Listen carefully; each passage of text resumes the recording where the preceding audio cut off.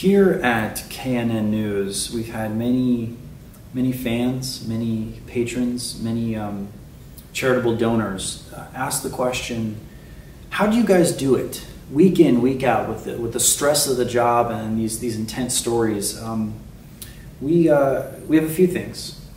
Number one, I would say wardrobe. Very important. From the, the tie to the clean pressed shirt to the impeccably confident pants.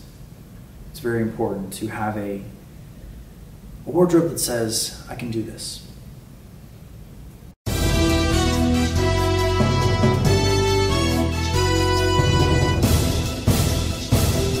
Good morning. This is KNN News. I am Buck Laster. And I'm Joe Butch. First thing on the agenda this week, KSM is, of course, mm-hmm. going to summer camp. Oh. That is going to be this summer. Teens 6th grade through 12th grade will be going to the Wilds Christian Camp in mm-hmm. Brevard, North Carolina, Brevard. Mm-hmm. June 2nd through the 8th. They will leave on Sunday and return on Saturday.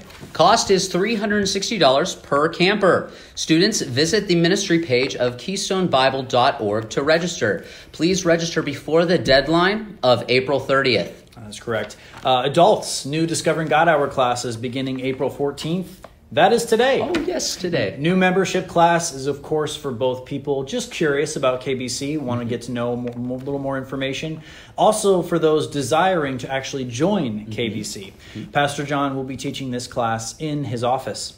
Another class we're starting is Bibliology, mm. study of the Bible. This will be repeating the course one more time. The class will cover the origin, inerrancy, authority, and clarity of the Bible in order to affirm that the Bible is indeed God's word to man. Another class we have is Old Testament Survey. This will be continued for eight more weeks. It is taught by our very own Kenny Fry. Love him. This will be a study uh, overviewing major themes of the Old Testament. And our last class, this will be Trials How to Respond in Faith to Disappointment and Tragedies. This is a very new class. This will be taught by Dan Walsh and Lindsay Ernst. The study answers questions of Is God really in control?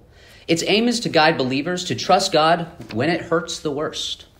Next week is Easter, April 21st. Easter service will begin promptly at 9:30 and will be slightly longer, mm-hmm. so we will not be having Discovering God Hour classes afterwards. Correct. Remember, empty tomb, empty room. Alrighty, folks. Well, that is all we have for you today. This has been KNN News. I am Buck Laster. And I'm Joe Butch. Signing off.